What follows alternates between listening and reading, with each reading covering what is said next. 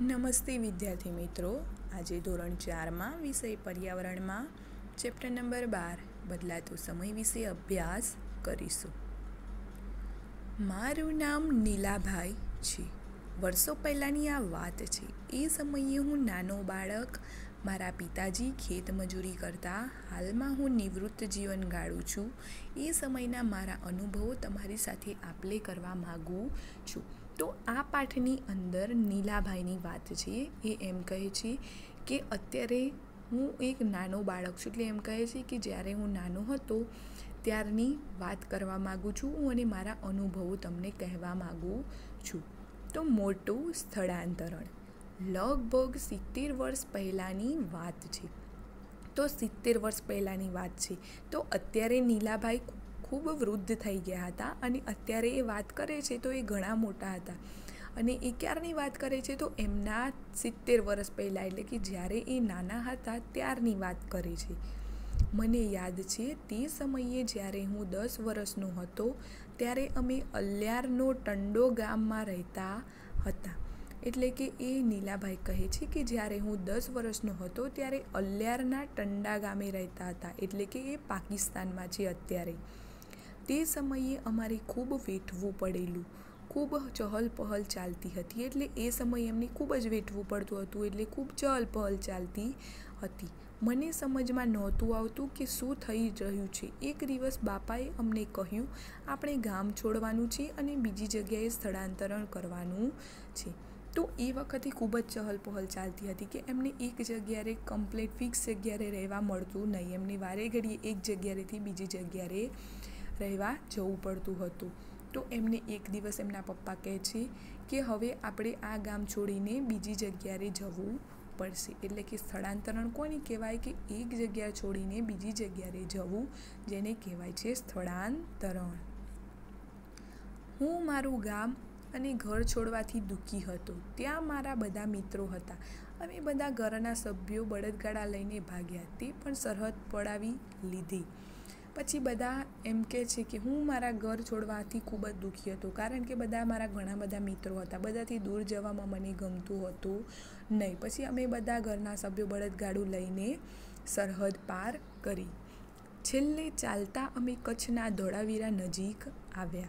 પછી છેલ્લે ક્યાં આવે છે તો કચ્છથી નજીક ધોળાવીરામાં આવે છે. અમારી જેમ ઘણા લોકોએ અમારા વિસ્તારમાંથી સ્થળાંતરણ કર્યું હતું. લોકો કહેતા હતા કે આપણો દેશ બે ભાગ, ભારત અને પાકિસ્તાનમાં વિભાજિત થઈ ગયો હતો. ભારતમાંથી ઘણા લોકો પાકિસ્તાનમાં ગયા હતા, જેમ અમે ભારતમાં આવ્યા હતા. થોડો સમય અમે બધા એક કૂબો બનાવીને ધોળાવીરાના ખુલ્લા મેદાનમાં રહ્યા હતા. એટલે કે એમ કહે છે કે અમારી સાથે બીજા ઘણા લોકોએ સ્થળાંતર કર્યું હતું. અને આપણા દેશની અંદર બે ભાગ પડ્યા હતા. એક ભારતની અંદર ને એક પાકિસ્તાનની અંદર.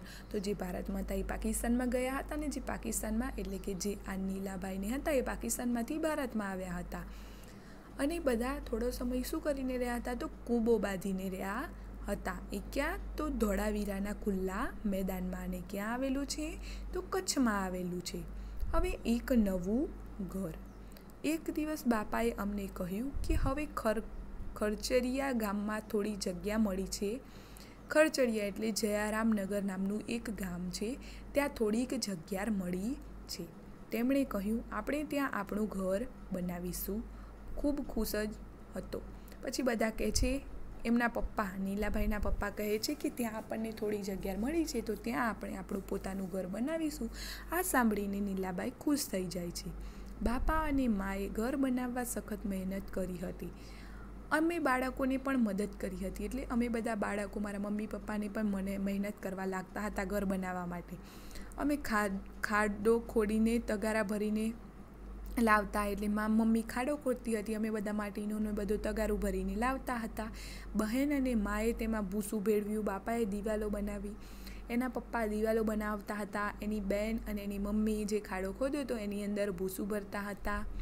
અમે બાજુમાં આજુબાજુમાંથી ગાયનું છાણ ભેગું કરી લાવ્યા. માએ તેમાંથી લીંપણ કરી, ભોય તળિયું તૈયાર કર્યું. મા કહેતા કે ગાર કરેલી હોય ત્યાંથી જીવજંતુઓ દૂર રહે છે. એટલે કે એની મમ્મી કહે છે કે જે ઘરની અંદર લીપણ કરે છે, એની અંદર જે ઘાર તૈયાર કરેલી હોય, એની અંદર શું હોય કે જીવજંતુઓ એનાથી દૂર રહે, કારણ કે જીવજંતુ એની અંદર આવે નહીં. પછી હવે છાપરું ઢાંકવાનું હતું. બાપાએ લાંબી લીમડાની ડાળીઓ તોડી હવે ઉપર છાપરું બનાવવાનું હતું. તો છાપરું બનાવવા માટે એ નીલાભાઈના પપ્પા લીમડાની લાંબી ડાળીઓ તોડે છે અને પછી મોભ ઉપર મૂકે છે. જેના પર થોડા જ સણના કોથળા મૂકી માટીના નાળિયામાંથી ઢાંકી દીધું. પછી શું કરે છે? જે થોડા સણના કોથળા હતા એનાથી એને ઢાંકી દે છે. અમારી આજુબાજુના મોટા ભાગના ઘરો અમારા ઘર જેવા જ હતા. જે અમારા જૂના ઘર જેવા જ હતા, જે મને ખૂબ જ ગમતું હતું. પછી એ નીલાભાઈ કહે છે કે અમારી આજુબાજુ મોટા ભાગના ઘરો બધા આવી રીતના જ હતા, જેથી મને ખૂબ જ ગમતું હતું. હવે આના પરથી કેટલાક પ્રશ્નો છે, એના જવાબ લખવાના છે. તો પહેલો પ્રશ્ન છે કે તે ક્યાં રહેતા હતા તે જગ્યાનું નામ લખો.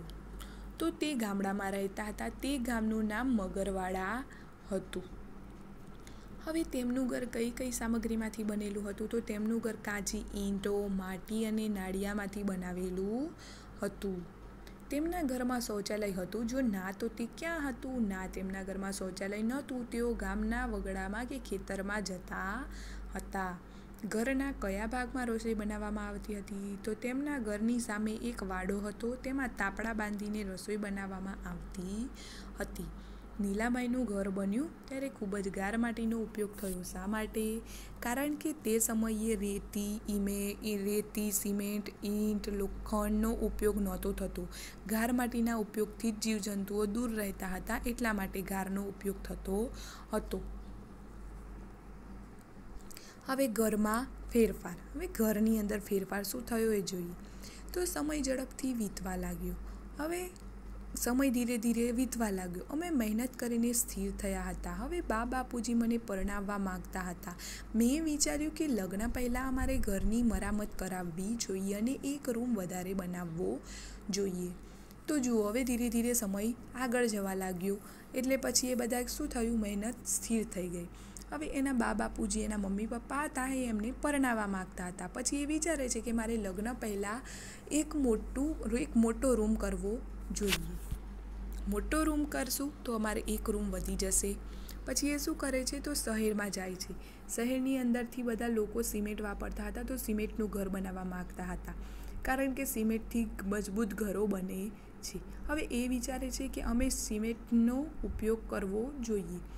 અમે એક નવા રૂમમાં છત બનાવવા લોખંડ અને સિમેન્ટનો ઉપયોગ કર્યો. પછી એ શું કરે છે તો ઘર બનાવવા માટે લોખંડ અને સિમેન્ટનો ઉપયોગ કરે છે. તે સમયે બજારમાં પકવ્યા વગરની ઈંટો પણ મળતી હતી અને તેનાથી દિવાલો બનાવી. પછી એ સમયે શું હતું તો પકવ્યા વગરની ઈંટો મળતી હતી. તો એનાથી એ શું કરે છે? એક મોટી દિવાલ બનાવે છે. ઈંટોનો ઉપયોગ ફાયદાકારક હતો. અમારે હવે દિવાલ પર લીપણ નહોતું કરવું પડતું.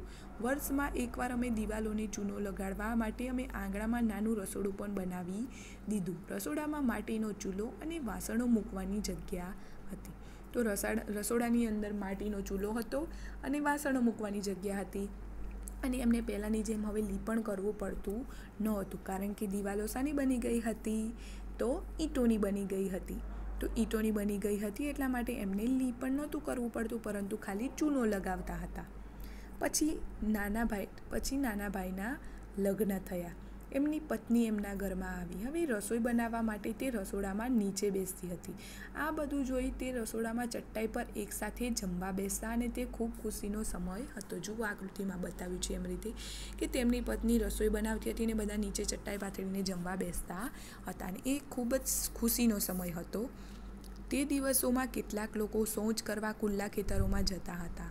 ઘણા ખરા મકાનોમાં તેના માટે અલગ જગ્યા હતી. અમે ઘરની પાછળ બેલાથી નાનું શૌચાલય બનાવ્યું હતું. તો જુઓ, ઘણા લોકોને ત્યાં શૌચાલય હતું નહીં. તો તેઓ શૌચ કરવા માટે ખેતરની અંદર જતા હતા અને ઘણા લોકોની અંદર અલગ જગ્યા હતી ઘરોની અંદર. અને આ નીલાબાઈ એમ કહે છે કે એમને એમના ઘરની અંદર એક નાનું બેલાથી નાનું શૌચાલય બનાવ્યું હતું. હવે વધુ બદલાવ. હવે ઘરની અંદર થોડો ફેરફાર કર્યો પછી એનાથી વધારે બદલાવ કરે છે. તો એ વધારે બદલાવમાં શું કરે છે જોઈએ. હવે એમના સાત દીકરા અને એક દીકરીનો જન્મ થયો. તો હવે એમના ઘરે વસ્તીનો વધારો થયો. બે, ત્રણ હતા, ત્રણમાંથી ચાર, ચારમાંથી પાંચ. હવે એમને કેટલા દીકરા થયા? સાત દીકરા અને એક દીકરી. તો હવે ઘર મોટું થઈ ગયું. તો સમય વીતતો ગયો. બાળકો થોડું ઘણું ભણ્યા. વીસ વર્ષ પહેલાં અમારી દીકરી જમીના લગ્ન થયા અને તે સાસરે રાફુ ગામે ચાલી ગઈ. જ્યારે દીકરા લાખાના લગ્ન થયા અને અમને લાગ્યું કે નાની વહુ માટે અમારે ઘર તૈયાર કરવું દેવું જોઈએ, હવે ઘરની અંદર વસ્તી વધારો થાય, તો એટલા નાના ઘરમાં બધા રહી શકીએ નહીં. તો આમ વિચારીને એ શું કરે છે કે મારે મારા નાના દીકરા માટે હવે એક ઘર તૈયાર કરવું જોઈએ. જુઓ હવે આગળ. ત્યારે દરેક પાંકી ઈંટો વાપરતા હતા. અમે પણ દિવાલ બનાવતા તેનો ઉપયોગ કર્યો. હવે ધીરે ધીરે પહેલાં એમને લીપણ એટલે કે પહેલાં તેમણે કેવી રીતે ગાર માટીમાંથી બનાવ્યું હતું મકાન, પછી કાચી ઈંટોમાંથી બનાવ્યું અને હવે પાકી ઈંટોમાંથી ઘર બનાવવાનું તૈયાર કર્યું. અને છત માટે વાસણ નાળિયેરના બદલે મજબૂતી લાવવા લોખંડ, કપચી અને સિમેન્ટનો ઉપયોગ કરવા લાગ્યા. શૌચાલયની અંદર પાઇપો મૂકી રસોડું મોટું બનાવ્યું. હવે લાખાની પત્ની જ્યારે માટીનો ચૂલો વાપરતી હતી, હવે તેનો ખૂબ ઓછા પ્રમાણમાં ઉપયોગ કરે છે, જ્યારે ગેસ અને સ્ટવનો ઉપયોગ કરે છે. તો ધીરે ધીરે સમય બદલાય, એમ બધી વસ્તુઓની અંદર શું થાય? બદલાવ આવતો જાય છે. હવે નવ, નવી વસ્તુઓ જોઈએ. તો મારા દીકરાનો દીકરો હમણાં જુદો રહેવા લાગ્યો છે, પણ હવે તે નવું ઘર બનાવ્યું છે. હવે એના દીકરાનો, એટલે કે જે નીલાબાઈ હતા, એમના દીકરાનો દીકરો હતો, એને એક નવું ઘર બનાવ્યું. તેણે નાની મોટી ખરીદી કરવા શહેર જવાનું થાય છે. ત્યાં તો મોટી મોટી ઇમારતો હોય, તેમાં જુદી જુદી સુવિધાઓ હોય છે. તે નવી પેઢીના દીકરો છે. તેણે હવે શૌચાલય, રસોડું વગેરે સુવિધાઓવાળું ઘર બનાવ્યું છે. તે બનાવવું અમારા માટે અઘરું હતું. તો જુઓ, લાખાભાઈ નીલાભાઈ કહે છે કે મારા દીકરાનો દીકરો એ હવે બહાર રહે છે શહેરની અંદર. કારણ કે એને નાની નાની વસ્તુઓ લેવા માટે શહેર જવું પડતું હોય છે ને શહેરની અંદર મોટી મોટી ઇમારતો હોય છે. અને ત્યાં બધાનું રસોડું જુદું હોય, શૌચાલય જુદું હોય, એમ જુદું જુદું હોય છે અને એમના માટે આવું બનાવવું ખૂબ જ અઘરું હતું. થોડા વર્ષો પહેલાં લાખાએ શૌચાલય અને બાથરૂમ ફરીથી બનાવડાવ્યું. તેણે બાથરૂમમાં રંગીન ટાઇલ્સનો ઉપયોગ કર્યો, નાહવા અને જોવા માટે આટલો બધો ખર્ચો? હવે હું હવે એંસી વર્ષનો થયો, આ બધા વર્ષો મેં ઘણા બધા ફેરફાર જોયા. હવે જે નીલાબાઈ હતા એ કેટલા વર્ષના થયા? એંસી વર્ષના થયા. અને આ એમના અનુભવોની વાત કરતા હતા. મારા પોતાના ઘરમાં પણ મેં ખબર નથી કે મારા પૌત્ર પૌત્રીઓને ક્યાં રહેવાનું પસંદ કરશે અને તેમના ઘર કેવા હશે. અત્યારે અત્યારનો ટંડો ગામમાં મકાનો કેવા હશે? મને એમ પણ થાય છે કે મારા બીજા મિત્રો ક્યાં હશે? હવે તેઓ પહેલાં ક્યાં રહેતા હતા? તો પાકિસ્તાનની અંદર રહેતા હવે ત્યાંથી ભારતમાં આવી ગયા. તેમને થાય છે કે હું પહેલાં જે રહેતો હતો ટંડો ગામની અંદર, એ ગામની અંદર જે મારા મકાન હતું, એ મકાન કેવું હશે, મારા મિત્રો કેવું, કેવા હશે, એ શું કરતા હશે, આવા બધા પ્રશ્નો થાય છે. હવે નીચે કેટલાક પ્રશ્નો પૂછેલા છે. તમારું ઘર બનાવવા માટે કઈ કઈ સામગ્રીનો ઉપયોગ લેવામાં આવે છે? તો ઈંટો, સિમેન્ટ, રેતી, લોખંડ, કાચ, લાકડું વગેરે સામગ્રીનો ઉપયોગ કરવામાં આવે છે. હવે બીજો પ્રશ્ન છે કે તમારા મિત્રનું ઘર કઈ કઈ સામગ્રીમાંથી બનેલું છે તે શોધો અને તે ફેરફાર છે તે વિશે લખો. તો મારા મિત્રનું ઘર ઇન્ટો સિમેન્ટ, કપચી, રેતી, લોખંડ, ટાઇલ્સ, વિલાયતી નળિયા અને સાગના લાકડામાંથી બનેલું છે. હવે આગળ પ્રશ્ન, નીલાભાઈના પૌત્ર પૌત્રીઓ કેવા ઘરમાં રહેશે? તમે શું વિચારો છો? તો સમય બદલાય એમ બધાને સારી સારી વસ્તુઓ ગમે અને સારા મકાનની અંદર રહેવાનું ગમે. તો સમયના બદલાવની સાથે નીલાબાઈના પૌત્ર પૌત્રીઓ ઈંટો, સિમેન્ટ, રેતી, કપચી, લોખંડનો ઉપયોગ કરશે. તેમજ ટાઇલ્સ અને અન્ય સામગ્રીઓથી સજ્જ એવા મોટા ઘરમાં રહેશે. તમે મોટા થઈને ક્યાં રહેવાનું પસંદ કરશો? તમે કેવા પ્રકારના ઘર પસંદ કરશો? તો હું મોટો થઈને શહેરમાં રહેવાનું પસંદ કરીશ. હું શહેરના આધુનિક સગવડતા ધરાવતા સ્વતંત્ર બંગલામાં રહેવાનું પસંદ કરીશ. તમારા દાદા દાદીઓના ઘર શાના દ્વારા બનાવવામાં આવ્યા? તેના વિશે તમે શું લખ્યું? કેટલીક વસ્તુ તમારું ઘર બનાવવામાં ઉપયોગમાં લેવાય તેમાં નામ આપો. હા, મારા દાદા દાદીઓના ઘર ઇન્ટો સિમેન્ટ રેતી લોખંડ તથા છાપરા, નળિયા અને લાકડાના બનેલા હતા. લોકોએ ને તેઓ જે કામ કરે છે તે અનુસાર નામ આપવામાં આવે છે. તો માણસનું લાકડું કામ કરે છે, તેને શું કહેવાય? સુથાર તો બધા લોકો જુદા જુદા કામ કરતા હોય. કોઈક સુથાર હોય કોઈ કડિયો હોય, કોઈ કુંભાર હોય, કોઈ પ્લમ્બર હોય. ઇલેક્ટ્રોનિક હોય, તો બધા જુદા જુદા કામ કરતા હોય, તો જે સુથાર હોય એ લાકડાનું કામ કરતું હોય. તો તમારા ગામમાં જે લોકો લાકડાનું કામ કરે છે, તેને તમે શું કહીશો? તો અમારા ગામમાં જે લોકો લાકડાનું કામ કરે છે, તેને અમે સુથાર કહીશું. શું કહીશું? સુથાર. તો જુઓ, અલગ અલગ લોકો દ્વારા કેવા પ્રકારના કામ થાય છે?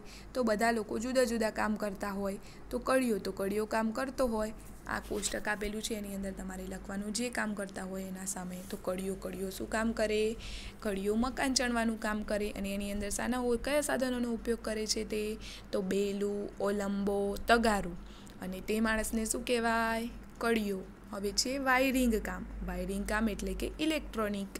એટલે એના સાધનની અંદર શું હોય? હથોડી, પકડ, વાયર. તો એને એને શું કહેવાય? વાયરમેન કહેવાય અથવા ઇલેક્ટ્રોનિક, ઇલેક્ટ્રિકલ કહેવાય. પછી છે સુથારકામ. તો સુથારકામની અંદર શાની જરૂર પડે? કટર પકડ, હથોડી. અને તે માણસને શું કહેવામાં આવે છે? સુથાર. હવે છે માટીકામ. તો માટીકામ કોણ કરે? તો કુંભાર કરે.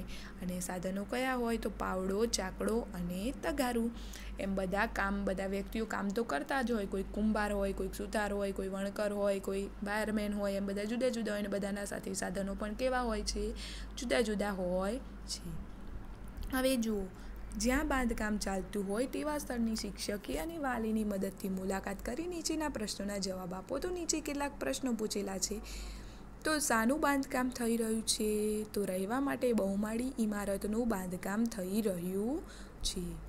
કેટલા માણસો કામ કરી રહ્યા છે? તો પચાસથી સિત્તેર જેટલા માણસો કામ કરી રહ્યા છે. હવે તેઓ કયા પ્રકારનું કામ કરી રહ્યા છે? તો તેઓ મકાન બનાવવા કામ કરી રહ્યા છે, કેટલાક દિવાલ ચણે છે અને કેટલાક પ્લાસ્ટર કરવાનું કામ કરે છે. ત્યાં કેટલા પુરુષો અને સ્ત્રીઓ છે? તો ત્યાં પાંત્રીસ પુરુષો અને સત્યાવીસ સ્ત્રીઓ મજૂરી કામ કરે છે. તે લોકોને દરરોજ કેટલા રૂપિયા મળે છે? એ બે લોકોને પૂછો. તો કડિયા કામ કરનારને આઠસો રૂપિયા અને મજૂરી કામ કરનારને ચારસો રૂપિયા મળે છે. મકાન બનાવવા, કઈ કઈ સામગ્રી વાપરવામાં આવી? તો મકાન બનાવવા માટે પાંકી ઈંટો, સિમેન્ટ, રેતી, લોખંડ, કપચી વાપરવામાં આવી. મકાન બનાવવા કેટલીક ટ્રક, ઈંટો, કેટલીક થેલીઓ સિમેન્ટ વાપરવામાં આવી હશે તે અનુમાન કરવા પ્રયત્ન કરો. તો બહુમાળી ઇમારતો હોવાથી સોથી વધારે ટ્રક, ઈંટો અને બે હજારથી વધારે થેલી સિમેન્ટ વાપરવામાં આવી હશે. બાંધકામની જગ્યાએ સામગ્રી કેવી રીતે લાવવામાં આવે છે? તો આ સ્થળે સામગ્રી લાવવા માટે મોટા સાધનો જેમ કે ડમ્પર ટ્રકનો ઉપયોગ કરવામાં આવે છે. તો કિંમત શોધવાની. તો સિમેન્ટની એક થેલીના કેટલા રૂપિયા છે? ત્રણસો રૂપિયા. એક ઈંટના બાર રૂપિયા. રેતીની એક ટ્રક ટ્રેક્ટરના પંદરસોથી બે હજાર રૂપિયા. તો જુઓ, જેમ જેમ સમય બદલાતો જાય છે, એમ એમ બધી વસ્તુઓનો પણ શું થતો જાય છે? બદલાવ થતો જાય છે અને બધા લોકોના કામ પણ કેવા હોય? જુદા જુદા હોય છે. જેમ જેમ સમય જતો જાય, એમ બધાના કામની અંદર પણ ફેરફાર થતો જાય. પહેલાં એ આઠસો રૂપિયા કમાતા હોય, તો હવે ધીરે ધીરે સમય બદલાતો જાય. એમ એમ એમ રૂપિયા પણ કેવા થતા જાય? વધતા જાય છે, એટલે સમય પણ ધીરે ધીરે બદલાતો જાય છે. થેન્ક યુ વિદ્યાર્થી મિત્રો.